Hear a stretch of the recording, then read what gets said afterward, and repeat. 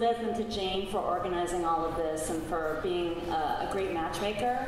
Um, the topic of this conference is just very near and dear to my heart, as you'll see from my research, so I'm just thrilled to be here. So, ever since I was a little kid, I was kind of obsessed with the relationship between representations, the stories that we tell ourselves and one another, and reality, real lived life. I lived in a very small town in eastern Oregon, and I ended up living my life quite vicariously, I'd say, through books and popular music, and through a lot, a hell of a lot, of television. I was obsessed with TV guides. I collected them. I annotated them with Nielsen ratings that I gleaned from the local newspaper. Any surprise that I became a media researcher? No. Um, and I think what was driving me is that I felt like if I knew what stories people enjoyed, what they were really passionate about, the decisions that people were making about what they would watch at 8 p.m. on a Thursday, that I would know something truly substantial about the world, about that world that stretched far beyond the city limits of my very small hometown, where I felt completely off the grid.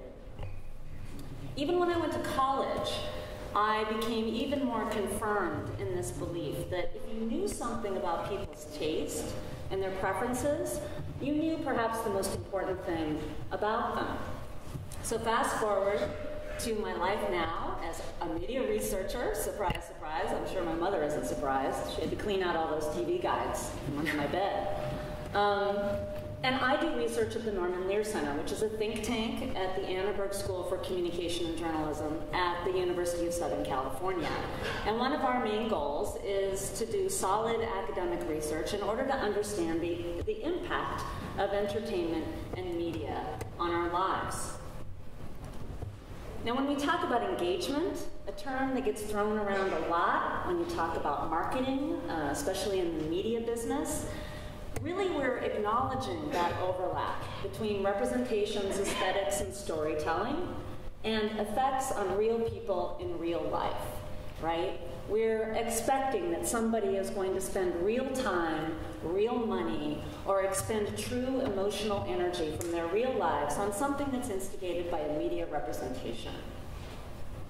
Now, one of the research projects at the Lear Center that I have found most exciting that I've worked on over the years sort of tackles exactly this nexus of issues. We decided to find out whether we could sort of scientifically study whether there was some correlation between your entertainment preferences, things that you enjoyed doing in your free time, and your political values and your ideological beliefs.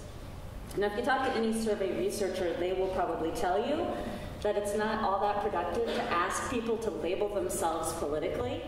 In the US, the result you often get is people say, well, I'm moderate, I'm not crazy, and everybody else is extreme, right? So that's not all that helpful. So what we did is we created a diagnostic tool. We circulated dozens of very highly charged uh, political statements um, to our survey respondents. It was an American National Representative Sample Survey that we did a series of times. And these questions or statements that we asked people to agree with or disagree with, however passionately, had to do with all of the topics that make people in the United States absolutely bonkers, right? Abortion, the environment, uh, questions of equality and gun rights. And then what we did is something called K cluster analysis. We did a statistical analysis of the responses of the respondents to find out whether certain groups of people tended to respond to these statements in the same way. So we didn't know if there would be 20 groups or 15 groups or 9 groups or 2, but it turned out that there were three very coherent groups. And we had to come up with labels that described these groups. And so we ended up calling about a quarter of the population moderate in their uh, beliefs in terms of an ideological spectrum. Uh, about a third were liberal, and the rest uh, fell into a conservative category. The rest of the survey was composed of hundreds of questions about entertainment preferences. What TV shows do you like? What blockbuster films did you watch last summer? What musical genres do you enjoy? What live events do you like to go to? And we wanted to find out whether each one of these ideological groups had some sort of coherent entertainment profile as well. And we found out that they did. So among conservatives, the largest group, they had very specific sort of television viewing habits. Um, in terms of playing games, they liked Monopoly. We weren't surprised to find that in, in terms of news, they preferred Fox News. They said that in their leisure time, their favorite thing to do was reading books, or reading, I think it was more generally. And in terms of live events that they preferred, they were usually sporting events, and they were big fans of NASCAR. Now, liberals, it turned out, you were more likely to find in a, a concert venue or a theater rather than a sporting stadium. It turned out that they preferred Trivial Pursuit. They liked Super Mario. They were big fans of Wikipedia, which conservatives were quite skeptical of. Liberals said that their main leisure time activity that they enjoyed was surfing the web. They liked Jon Stewart, no surprise there. And their favorite TV show among the top high rated TV shows uh, in the nation at that time was 60 Minutes, which is absolutely despised by conservatives. Moderates had a completely different profile, and this was a very uh, interesting group to us because so many political campaigns are trying to figure out who these people are. These are often swing voters. Um, they were the only group who were willing to admit that they really like reality programming. So, so I think actually they're the most honest group in the sample. Uh, they like Scrabble. Uh, they like Dance Dance Revolution. it's very sweet. Um, and they watch a lot of TV, and they actually said that their number one leisure activity um, if they had to choose one, would be watching television. And that was borne out by our data. They watched a lot of TV. So I was kind of disturbed by these results, you know? I was hoping to find some cultural touchstones that bring us together as a country, bridging these political divides. And instead, I found out that basically these people don't even play the same board games, right? So it was, it was a little distressing. Um, we asked about hundreds of different uh, uh, entertainment preferences and entertainment properties, and there were very few that were equally beloved across these ideological divides. But they included the TV show House, which was for many years the number one show in the world, over a billion viewers uh, of each episode a year, a billion. Uh, football, yeah, everybody loves football in the United States, and rock and roll. So, those were the things that brought us together. When we asked about genres, just generally, you know, do you like action adventure? Do you like educational programming? It was as if we were asking them to divvy up the genres, right? There was hardly any overlap among these ideological groups in terms of their genre preferences. The, the only overlap was that moderates and liberals were more likely to say that they enjoy drama and educational programming. That was it. Now, I can't possibly go beyond this slide without delving a little bit more deeply into the documentary preferences. Um, and just to be clear, right, if you're a documentary lover, it does not mean you are necessarily a liberal. It just meant that our data said that if you are a documentary lover, lover it's more likely that you would fall into the liberal ideological group. But here's a, a, sort of drill down into what those preferences looked like in the survey. What we did is we compared people who said that they really, really, really enjoy documentaries with people who said they really, really, really hate documentaries and figured out what the biggest differences were between them in terms of demographics and politics and other entertainment preferences. So the top three biggest differences between these two groups actually had to do with taste. One was that documentary lovers also love educational programming, they love nature and science programming, and they dig arts programming too. Those things are just not beloved among people who do not like documentaries. They also liked drama better as a genre. They liked comedy better as a genre. So these are people who really enjoy uh, entertainment genres overall. They're less picky in a way. We had asked the questions about musical genres, as I mentioned before, and so it was very interesting to see that there was a distinctive difference between documentary haters, let's just call them that, and documentary lovers who were also big lovers of blues music. They also were big fans of baseball. That was the only sport where you could sort of predict that this person might very well like documentary film. Now, the next finding is an interesting one. I have to test it out on you guys because it didn't fall within the framework for the liberal ideological group. Um, if you were dropped off in a bookstore right now and you had the choice to go to a section that was nonfiction genres opposed to fiction genres, I'm going to ask you which section you would most likely go to. So, how many of you people here would go to a fiction genre section? So fantasy or romance or literary fiction? Okay. Now, how many of you would immediately beeline for nonfiction? Okay, yeah, that's what we found. so it was interesting because uh, when we were looking at the ideological split, um, in terms of bookstore preferences, we found that conservatives tended to gravitate toward entertainment forms and book uh, genres that were more uh, connected to reality, right? They liked books about business, they liked books about sports, they liked books about history, and they didn't like the fictional stuff so much. So it was very interesting to find that this reverse preference was here among documentary lovers. But of course, it, it makes sense. You guys actually get a kick out of reality. you escape to reality, right? When you're having a good time. Um. Yeah, one of our other findings was that documentary lovers actually enjoy entertainment that has political themes. Surprise, surprise, people who don't like documentaries don't like entertainment with political themes. Now, you may have noticed absolutely no demographic variables showed up so far, and I was listing them in the order of their statistical significance. Um, the one demographic distinction between these two groups, and I wouldn't even call it demographic, but classically it's included in that section, is that documentary lovers were less likely to say that they were born again Christians. so that's my message in this chapel today. Reflect upon yourselves and your sins. Um, so when we went back to the ideological clusters, conservative, moderate, liberal, uh, we checked to see what were the demographic characteristics, obviously, of these three different groups. And our statistician told us that what she found were blurred matrices right? That she could not predict inclusion in any of these ideological groups based upon your demographic profile. And we had a very extensive demographic profile.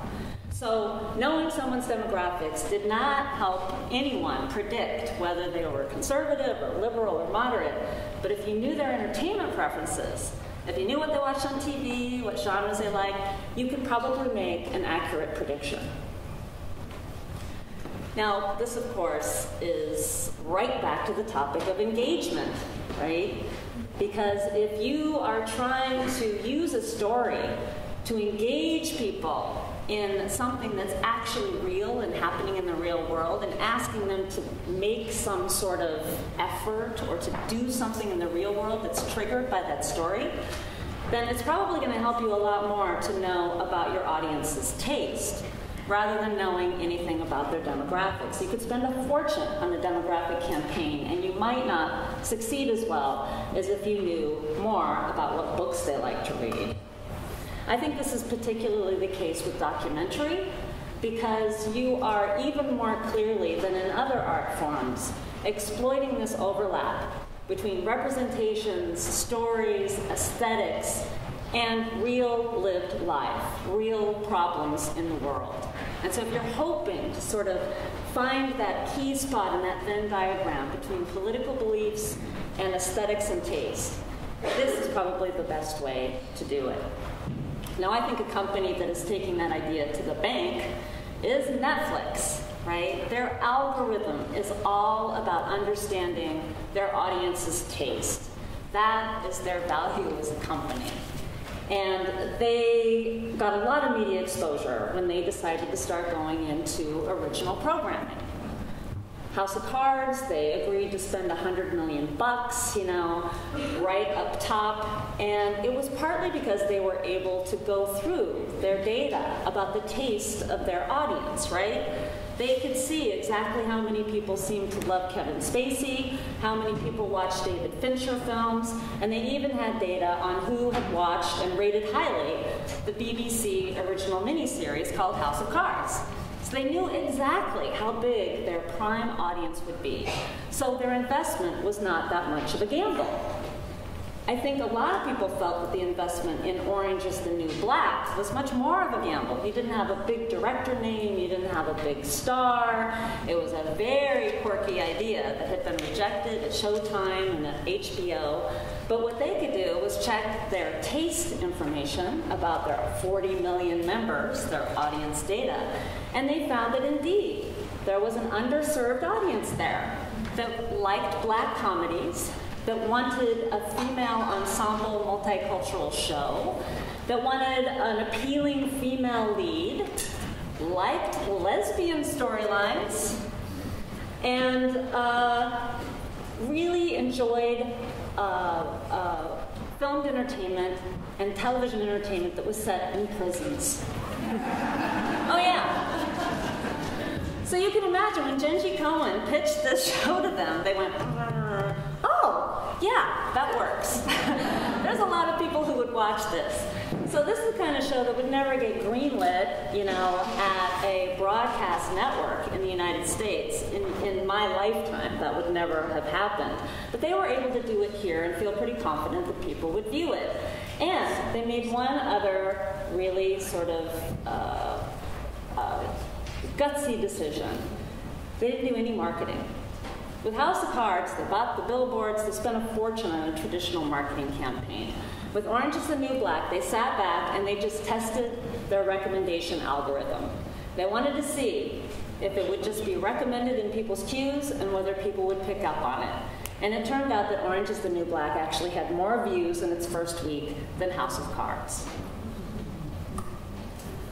So for documentary makers and people in this industry, I think this is amazing news. Of course, I am as resentful as probably everyone else is about how Netflix hoards their data and doesn't share it.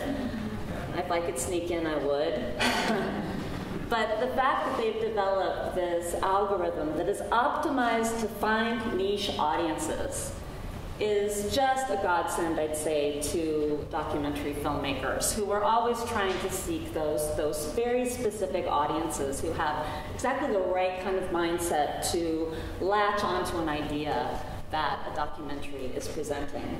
And now that we've heard that Netflix is going to start expending a lot more resources on acquiring and also developing original documentary programming, I think that's a sign that they too understand that documentary is a wonderful space for a company that takes taste profiles of audiences very seriously. Now, at the Norman Lear Center, a key part of our mission is to try to understand the impact of media and entertainment on the world. And so, all this research that we've done about taste and politics really helped provide a solid sort of uh, research data foundation for our belief that entertainment and media plays a very powerful role in people's lives. And it's one reason that we have been partnering now for 14 years with the Centers for Disease Control. This is the big, big, big, big public health agency in the United States. They found out through their annual surveys that over half of Americans believe that the health storylines that they see in primetime television, entertainment programming, and daytime soaps they believe that that medical information has been vetted by somebody and that it's accurate. This is over half of Americans. Over a quarter said that this was one of their main sources for health information. So the CDC got very concerned. and they set up a partnership, a cooperative partnership agreement with us, because they're in Atlanta, they don't know how these Hollywood people think. We're in Hollywood, we have very good connections there, and so they worked through us to try to encourage these shows to include accurate health information and to do research to figure out whether it was having an impact on audiences. So I'll just mention a few of the reports. There, we probably have like 46 academic publications up on our website right now. One example is that uh, the, the number of calls to an, a national HIV hotline uh, went off the charts when The Bold and the Beautiful aired a storyline that we consulted on in which this guy tells his girlfriend that he's HIV positive. That's one way to get a lot of people to call an HIV hotline, especially women who often do not call these hotlines.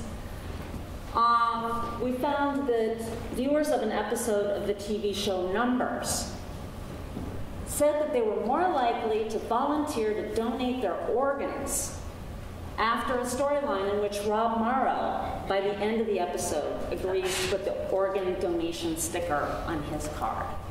So people actually were moved to change their minds about donating their organs after they saw a fictional TV episode about this.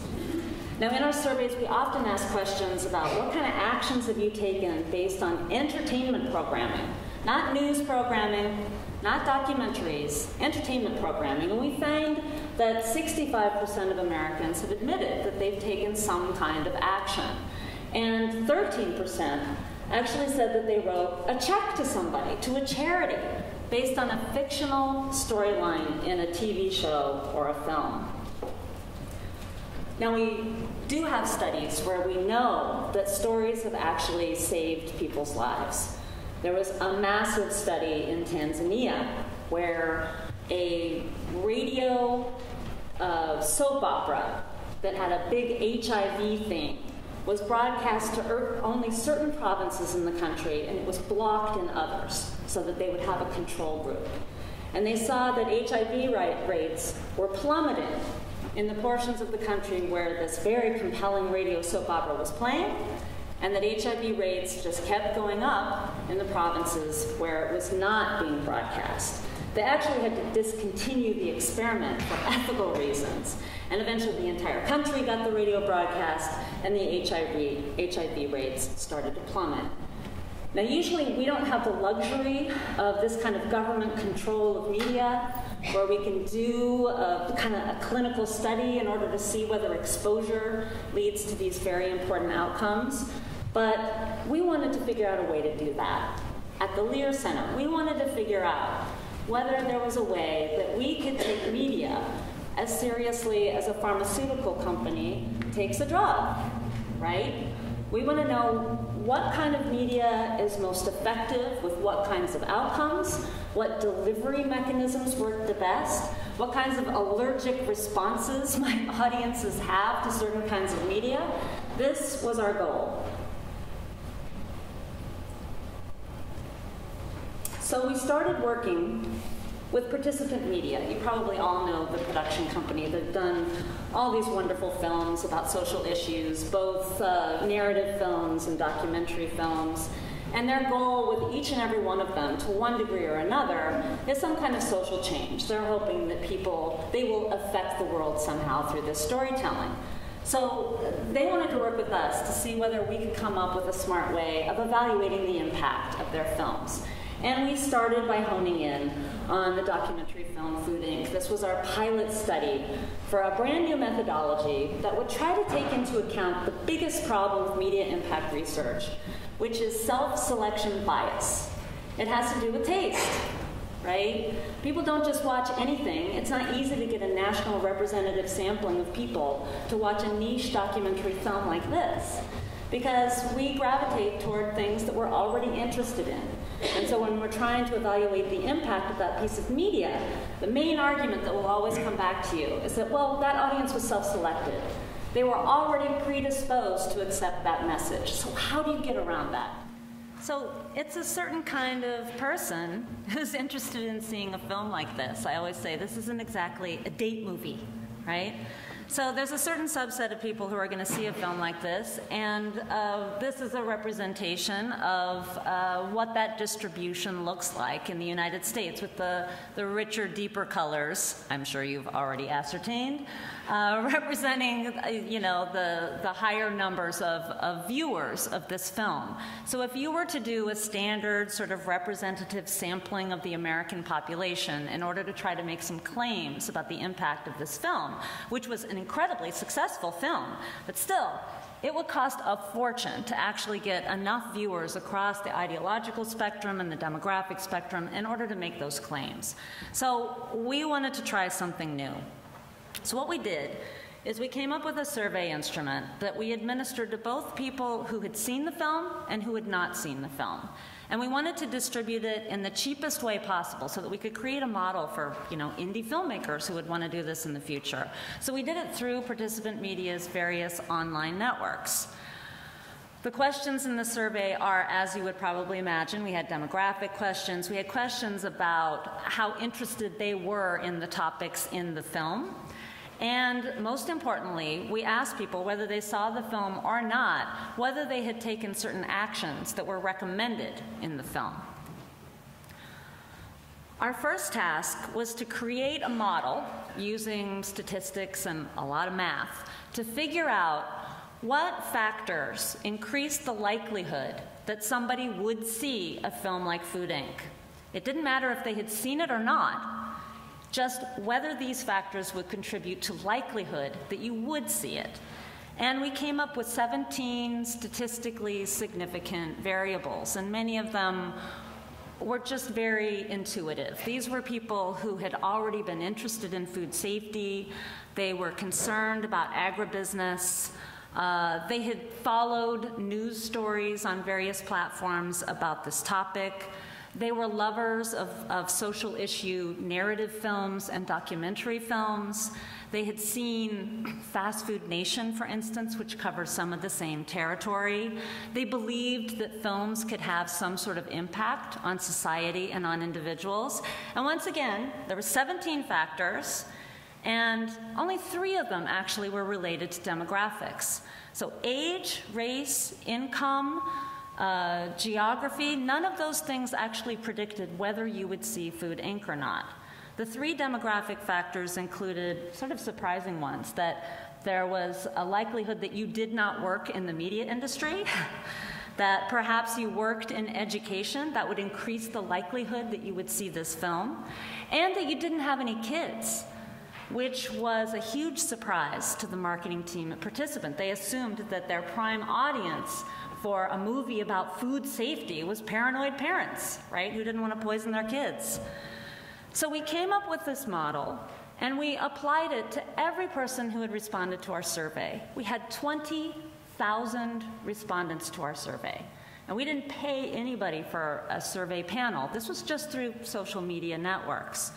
And what we did is we applied this model to every single person who took the survey, and we gave them a score that would describe their likelihood of seeing the film Food Inc. So there's the person who hates documentaries, doesn't care about food safety, they get a really, really low score. And then there are the people who've been obsessed with this issue their entire lives, and they always see participant media films, they get a high score. What we did is we compared the person who had exactly the same score, and we did this one to one with every single person. We compare the person who saw the film and who didn't, and see if they're taking different kinds of actions so that we could ascribe that um, accountability to the film itself. So it turned out we saw huge differences between very similar people who had seen the film versus people who had not seen it. One of the more obvious uh, findings was that people who saw the film were more knowledgeable about the issues that were discussed and explained in the film, like genetically modified corn. These people tended to know more compared to people with the exact same score who hadn't seen the film, maybe because it's still in their Netflix queue. These people were more likely to encourage friends and family and colleagues to learn more about food safety. They were shopping at their local farmers markets more often than their doppelganger who hadn't seen the film. And they were actually eating healthier food. So these were huge behavioral outcomes that we were able to ascribe to a documentary film. And one thing I have to tell you is that we didn't obviously administer this survey to people as they were walking out of the theater. We administered it one year after theatrical release. So these messages had to be sort of deeply embedded, and it also represented a year's worth of reflection and thought about that film, not just a knee jerk reaction as you walk out of a theater. Now, our real goal here in this research project had been to do an evaluation of Waiting for Superman. Uh, Food Inc. was just our pilot. We were testing this methodology. We weren't sure if it was going to work. It worked great. So we couldn't wait to apply it to an entirely different documentary film on an entirely different set of issues. How many people here have seen Waiting for Superman? Okay, a fewer number. So, so I'll only, this is the first time actually that we've publicly announced any of the results from the Waiting for Superman evaluation, but eventually we will issue a, a full report. Um, but we structured it very much in the same way that we did the Food Inc. research. We needed to establish, identify which variables influenced someone's likelihood to watch Waiting for Superman so that we could create this control group again and compare people who had seen it to very similar people who had not seen it to see whether there are different outcomes in terms of knowledge and behavior. In terms of knowledge, we found once again that the film was very effective at increasing knowledge levels among people who had seen the film. We asked a range of quiz questions from really easy stuff to actually very hard questions. And people who saw the film uh, were far more likely to get all of those questions correct. And once again, we administered this survey one year after theatrical release, so it was not as people were walking out of a theater. Now, there was a huge social action campaign that was built around this film, and there were very specific outcomes that they were hoping for from this film. And it turned out when we did the uh, propensity score matching analysis that people who had seen the film were more likely to take these four actions out of the six that were proposed by the social action campaign. Um, and we were especially excited, I must say, by the increase in likelihood that people would be donating books and classroom materials to schools and that they might be volunteering or mentoring students. We often kind of know on a gut level that, of course, people talk about a film that they've seen, they might seek more information, but these kinds of actions are, are really quite moving and, and can have a, an obvious social impact. Now, one thing that we didn't do in Food Inc., and we wanted to make sure that we did in this survey, was to figure out what happened in terms of people who had been activists, socially engaged in these issues long before they saw the film, and then what happened to them after they saw it. So in Food Inc., we didn't account for that. If you had been an agribusiness activist, you know, 10 years ago, did that make a difference in terms of outcomes? So what we did here is we asked people whether they had been taking these kinds of actions 10 years ago or five years ago, and then we checked to see whether if these people had seen the film, was it more likely that they were taking those actions now, and which ones? And it turned out that we saw exactly the same pattern of action pickups. So the film was particularly good at inciting people to take these kinds of actions. And we were able to prove that people who had been involved in education in the past were less likely to be involved now if they hadn't seen the film. Now, I found this a very, very important finding because I think a lot of documentary filmmakers are chastised for speaking to the choir, right?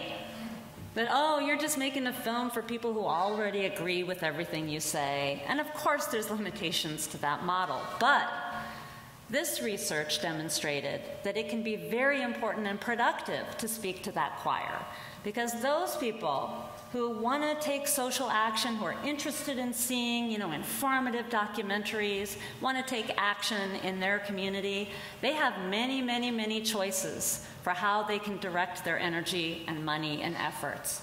And a film like this can redirect people back to the issue that you're most interested in. So, my message to you is that don't ignore the choir. You may want to proselytize and bring in new people to the tent, but these people are incredibly important to you and to the movement as well. Obviously, uh, the Waiting for Superman social action team was also very interested in how this film affected parents who saw it. So these were the four uh, hoped for outcomes for the social action campaign, and we found that people who saw the film, compared to very similar parents who had not seen the film, were more likely to be doing these three things. This includes reading to your children 30 minutes a day. This is a very sort of gratifying outcome for people who have made a documentary film about education. Now, one thing I really love about the survey methodology is yes, it's incredibly wonky, but it doesn't get in the way of the filmmaker at all. We don't come in until a year after the film has been released theatrically in order to figure out what sort of impact it had on society. I think a lot of filmmakers are anxious that if they open themselves up to an impact evaluation, they're going to have these people hanging around over their shoulders, trying to frame shots for them, trying to reverse engineer an artistic product into something utilitarian, something that's serving a social purpose. But it doesn't have to operate like that. We can come in much later and provide some very scientific evidence about the way in which your artful engagement with audiences actually worked, and we can measure it for you.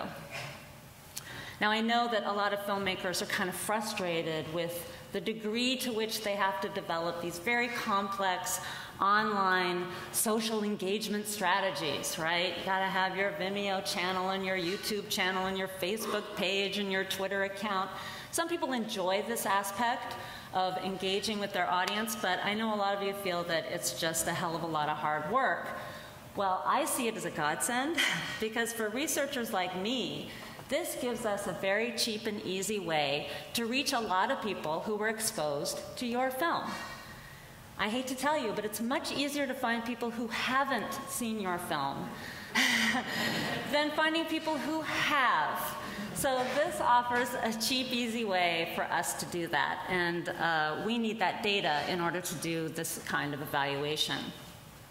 So these two research projects, three research projects that I've described, have really led to an entirely new uh, program at the Norman Lear Center, which we're calling the Media Impact Project.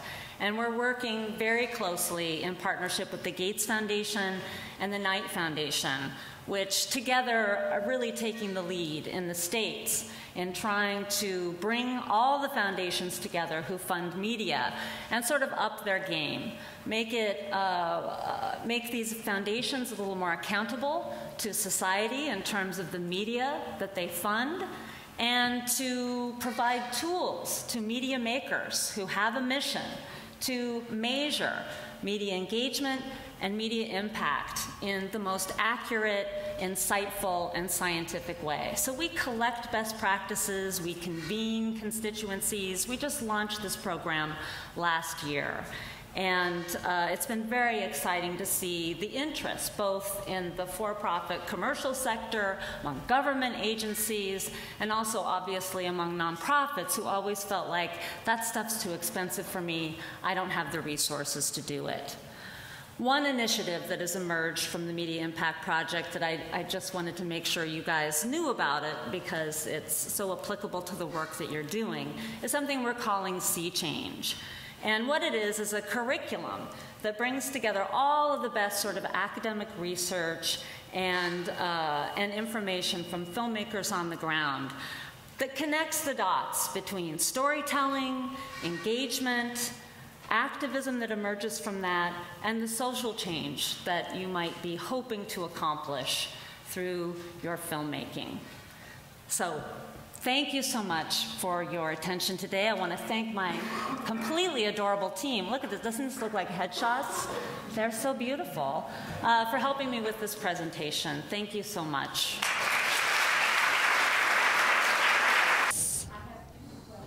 Okay, and if you could speak up, and I will try to summarize very quickly your question as well. Okay, I have two questions. I'll try to be concise. One, um, did anybody else notice that uh, the um, I am going to be active mode did not ever include going to one's political bodies, be they, you know, your local politician. It, it just says so much about dissatisfaction and cynicism. The second is um, I've been cu- currently commissioned by my university to create a, a sort of docu instructional video, and they keep insisting on pre post evaluations and change on behavior, but no one is coughing up a template. Do you have these for the likes of us? Do I May have I have one now? How to design pre and post impact surveys. Right. Um, well, this method of survey research actually is a replacement for pre-post Okay. because the people who are in the control group are basically pre, Yes. and the people who are in the exposed group are basically post. Yes. And some people still prefer pre post research, but many people actually prefer this mode because it has one timestamp. One of the big problems with pre post is that you ask people a series of questions in a survey, then they see the media, and then you ask the same questions again. The problem is that you've primed them. By asking the questions before they saw the media, they framed their experience of the media with those questions in mind. It's kind of hard not to do that. And they're reflecting on the questions that were asked of them. And so they've been primed to think about those topics in a way that, with our survey, since it's administered only once, you're not primed. And how would one gain access for templates that would help us um, design effective surveys? Well, that is the purpose of this Media Impact Project. This kind of survey research methodology is not easy. I've had a very difficult time finding people who have the math skills to actually do this work. This is not something that you can just download off the internet and do at home. So that is the problem with it, but the good side is that it's very inexpensive to do. And the whole purpose of our Media Impact Project is to build up enough resources to be able to help people to do it and to do it for you. Um, but I want to get back to your original question because that was very, I'm so glad that you noticed that, that the, the calls to action with both of these films that had to do with engaging with political representation and political process tended to be the actions that people did not take. And we have noticed this as a pattern across our research for a few years now. And one thing that was quite a surprise to us is that people who tended to be very willing to engage in a social action campaign after seeing a film did not necessarily think of themselves as political people. They were very unlikely to donate to political causes. They often had no political affiliation. And they often weren't even registered to vote. So it is, so it is our suspicion that people who might be particularly primed to uptake action messages from media uh, that is promoting social change are people who have deliberately opted out of the political system and the political process. It's not uniformly the case for all, but this seems to be a trend that we see in the data. Any other questions? Yes. I have a question about um, the the level of impact a film can have, um, and I'm wondering. I assume that there's a kind of cascade effect after so many people see a film, it impacts more and more people because it, you know, it, it ricochets and and bounces off.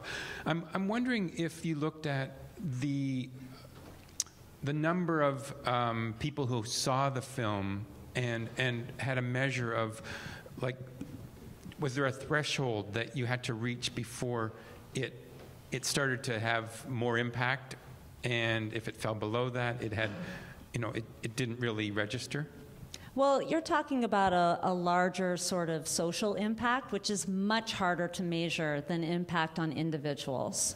So we tried to focus on the low hanging fruit. You know, with survey research, you can ask people, individual by individual, what sorts of changes have you made? Are there changes in your attitudes? What do you feel that you can do in the future? There's all kinds of questions that you can ask. Figuring out how that adds up to a tipping point to social change is a much more more complicated research project, a much more expensive research project, and it's one that we hope we're going to try to make affordable and easier to do through our Media Impact Project, which also includes building a huge data analytics center where we can integrate the survey research that's sort of individual by individual with very complex web metrics, information from social media networks, so that we can sort of triangulate and figure out exactly if there is some sort of tipping point at which individual behavior change turns into a larger community change, national change, or something that looks like a global movement. That's just a much trickier proposition. Yes, in the back.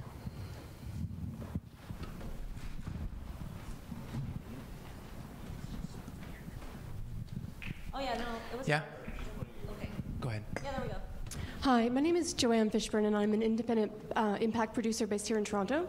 I'd be very curious to know whether you've compared um, data from films that have had um, impact campaigns associated with them and films which have had none at all. No, we haven't had a chance to do that, but I can't wait. it's a little easier for us to develop a survey instrument if there was a social action campaign because we can basically say, uh, What did you think you accomplished? what were you hoping to accomplish? And then we'll figure out whether that was the case. Um, one thing that we discovered with the Food Inc. campaign is that people who had worked on it um, and who gave us information for the survey said, Well, here's an item that wasn't in our social action campaign, but we're pretty sure that this is something that occurred. It had to do with obesity, I believe. And so we included that in the survey, and it turned out that actually it didn't have an impact. It turned out that their official social action campaign had worked better than anything they felt had emerged organically afterwards. I'm sure that that's not always the case, but it was very interesting to sort of test that. One other interesting finding is that they promoted the Childhood Nutrition uh, Protection Act of, of uh, reviving it. It has to do with the food that's given to kids in schools. And so there was a petition to be signed. And we found that viewership of the film, Food Inc., didn't in any way increase likelihood that people would sign that petition. And I think it was because their web campaign was so successful. they didn't need the film in order to get people to sign the petition. So finding that some of your outcomes didn't necessarily come through because of the film was not necessarily bad news. Yes, anyone else? That was a, an incredibly stimulating talk. Thank you very much for doing that. Thank you. I wanted to ask you um, remember that P- Peter Brand character from Moneyball? Jonah Hill's Oh. character? Uh-huh. So, do you find that a lot of the people that are doing the, the hardcore number crunching, the propeller heads, for lack of a better term, do you find that um, those people are better suited to the job if they're actually fans of film, if they're studying the film sector? Do you find that they're better at doing their job if they know about movies and they can kind of recall film characters, scripts, narratives, what have you? Or are you looking for people to fill that position that are divorced entirely from films and they're just looking at numbers as a kind of cold, hard, absolute science? Right. Well, that's a very interesting question because we're very much in the process of staffing, staffing up our media impact project. And of course, the quant people who are often most qualified to do the trickiest uh, mathematical research that we need to have done, they often don't have backgrounds in media industry, and they certainly don't have backgrounds in social impact measurement. So um, that's been an issue because uh, I feel that it's a whole other level of knowledge to understand the culture industry and to understand how film and media work. And I myself have had a very difficult time working with standard survey researchers, say in public health, because we've been working with the Centers for Disease Control for so long. I've worked with a lot of people who have masters in public health who understand how to do public health campaigns and how to uh, evaluate their, um, their effectiveness. Often they know so little about films and about culture and about representation and about aesthetics that their surveys are just absolutely illegible to me. They make no sense to me at all. And so I felt that I'm coming at it as a cultural studies scholar. I have an English PhD. I did a lot of work in film studies. I can help those people develop a survey instrument that actually uh, is applicable to this kind of work. So I think it's an interesting mix. It actually helps to have people who have fresh eyes, who haven't necessarily worked in the media industry, but you really do need people who have some sort of perspective on this work. Any other questions? There's one right here. Uh, the mic is coming. Hi, thanks for your talk. Um, you had said you said uh, that you thought this was very inexpensive to do. Uh, so um, let's say I'm a filmmaker and I want to do this with my film. How do I do it inexpensively and effectively? Right. Well, you know, the price point really depends on how many people, uh, you know, have the skill set to do this. We're building up that capacity at, at the Lear Center now. But um, if you were to do through Gallup something like the Food Inc. survey that we did, you would have to seek out a national representative sample. And I'm guessing it would probably cost about a half million dollars. To do something like a propensity score matching survey, which is the technical term for creating those control groups, I'd say it was probably closer to 25K.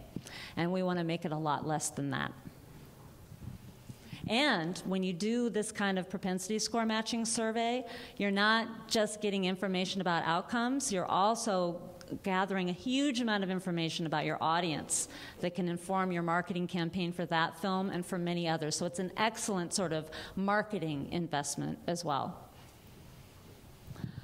Ah, yes, I have to go with the front row. Just a simple one. Of the 20,000 people who responded, what percentage ended up with a propensity for watching Food Inc.? How Oh, many, how many uh, were you working with in terms of We had in the Food Inc. survey, we had many, many, a much higher percentage of respondents who had actually seen the film than people who had not seen it. Uh, Food Inc. was just a very, very successful property for participant media, and so it was surprisingly easy for us to find people who had been exposed to the film. Let me tell you, with this kind of media impact research, it's always harder to find people who've been exposed than to find people who haven't seen it yet. So that was uh, truly a blessing because we were sitting on massive amounts of information, uh, lots of feedback. So what we did when we created the control group is we only used a subset of the people who had actually seen the film.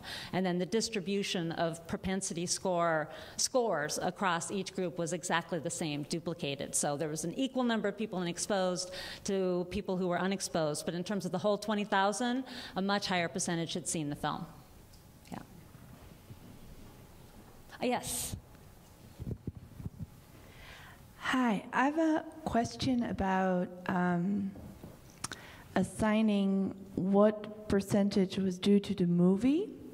Um, as a movie, as a filmmaker, you're often encouraged to find as many partners, collaborations, people already working in the same field, doing the same outreach in your topic.